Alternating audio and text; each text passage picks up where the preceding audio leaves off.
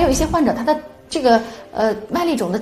严重程度是非常重的，他的这个眼睑的肿胀啊是非常厉害的。啊，同时呢，除了肿胀以外呢，它还会有一个非常明显的这个呃这个脓头啊，您可以看到这个脓头，无论是在它的这个眼睑的皮肤面，还是在它这个眼内部的这个结膜面。那么像这一类的患者呢，啊，他也是可以呃促进这个它的吸呃这个脓头的成熟啊。那等到这个脓头自行的破溃，或者是呃通过我们的这个医疗的方法把它切开引流以后，那么这一部分的患者呢，也是可以完全的治愈的。那么还有一类更严重的患者啊，比如说像他除了这种有眼睑的这种重度的肿胀啊。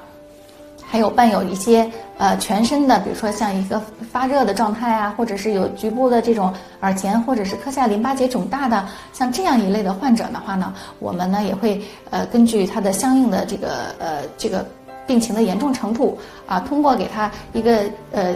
呃，积极的这种治疗的措施啊，比如说局部的这种消炎呀、抗感染啊，还有局部的给它切开的引流啊，还有甚至给它一些全身的这种抗生素的使用，这样一个针对它病因的治疗。那么在这种情况下呢，呃，这个麦粒肿也都是可以治愈的啊。所以如果说您患了麦粒肿，即使眼睛是到了一个很严重的程度。啊，看上去非常的肿，非常的担心，但是呢，呃，您都可以来到我们医院里，那么我们会根据您的不同的这种严重程度，给予你相应的治疗的措施，那么最终呢，它都是可以完全治愈的。